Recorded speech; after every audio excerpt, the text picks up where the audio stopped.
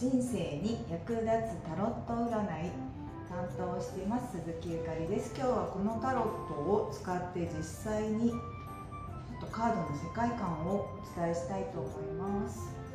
切ってきます。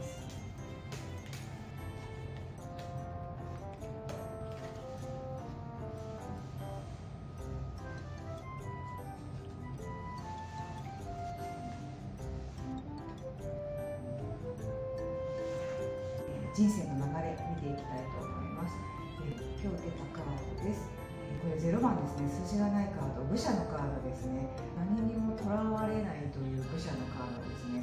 無敵のカードです。これ出た時はえー、そうですね。自分にくっついてしまっている制限しがらみ全て取っ払って自由に本当に思うままに旅に出てくださいっていうカードです今でもそんな状態にいるんじゃないかなっていう時に出たりしますからのですね未来一番ですね。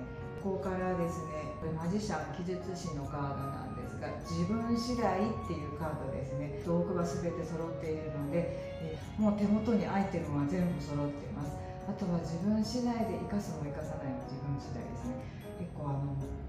とても能動的なカードが出ています。スタートのカードですね。これからいろんなこと人と関わって楽しませたりとかそんな未来がこの後に出ています。で過去どうだったかっていうと吊るされた男ですね。ちょっとこの方苦しかったのかなっていう過去はですね何をやってもうまくいかないとかですね何をやってもどんどん自分がこう狭まってしまう抜け出せないそんな暗闇トンネルからですねらわれが振り払われて何か始めようかなっていう人生の流れ、えー、見えてきましたこんな感じで毎月今自分の置かれている状況だったりとか大きな、えー、そうですね人生の流れを振り返ってみていきます。